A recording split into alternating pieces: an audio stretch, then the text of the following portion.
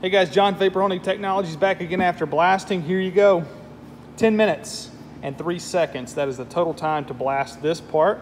And just look how clean this part is. Pay attention to the thread detail, internal threads, tapped holes like that, uh, studs. I always like this process because you can clean the threaded holes, you can clean the studs, you can get torque specs that are proper. There's nothing gumming those studs up. You're not going to damage those studs. You're just going to clean them as the example here. And this thing is exceptionally clean. I mean, there's nothing else in the world that can do this. You can identify the part, you can find part numbers, you're not removing material, and it literally took 10 minutes. There's no other process that can do that and give you these kind of results. These results are going to make you more money, and more money you can grow your business and buy new equipment and bigger equipment.